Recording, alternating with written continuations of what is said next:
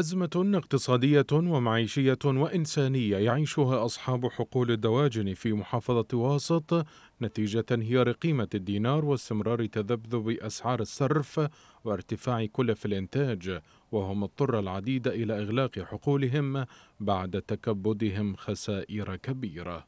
اليوم قطاعنا يشتغل 20% القطاع ال 20% ومن ض... وكل الشركات إذا ما خسرت كل واحد مليارين ثلاثة أنا من ضمنهم اللي وياك الله وكيله خسران بالمليارين.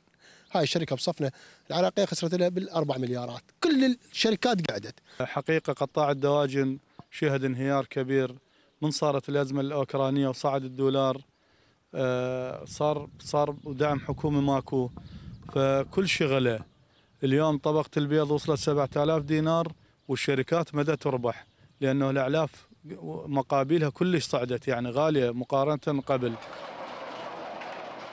قطاع الدواجن الذي بات ينهار تحت وطأة الاستيراد والتهريب فضلا عن غياب الدعم الحكومي.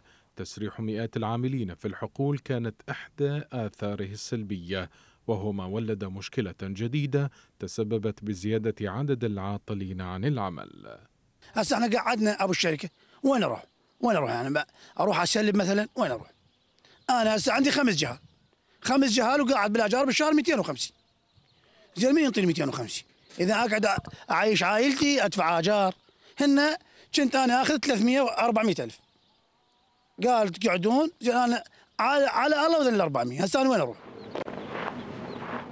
هي أزمة اقتصادية في العراق ألقت بظلالها على مختلف القطاعات ولا سيما قطاع الدواجن بسبب سوء إدارة الحكومات المتعاقبة للملف الاقتصادي رغم إمكانية ضمان اكتفاء البلاد من المنتجات الحيوانية المصنعة محليا فيما لو أنها لاقت اهتماما جادا فإن ذلك سيوفر مبالغ مالية كبيرة ترفض الدولة وخزينتها المثقلة بالديون.